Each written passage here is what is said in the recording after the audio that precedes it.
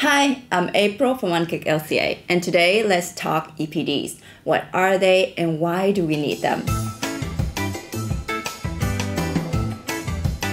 So, an environmental product declaration or EPD is a standardized document that provides an independent, verified, and transparent summary of the environmental impact of a product throughout its life cycle based on the information from a life cycle assessment. It includes information from the environmental impact, such as resource consumption, emissions to air, water, soil, and other significant aspects. An EPD does not expose any commercial information about the company or any sensitive information that you may have and is usually valid for a period of five years. The most common type of EPD is a standard third party verified EPD. We call it a parent EPD. It is required by many regulations and certification schemes and accepted by almost all of them. This is valid for five years and requires one year of production data.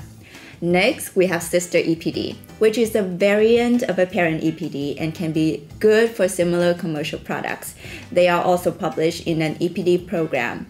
Then we have design phase EPD, which is also third party verified. It is great for new products on the market that don't yet have that one year of production data. So these have an 18 month validity rather than five years. And finally, we have project EPD, which is internally verified by a qualified internal verifier.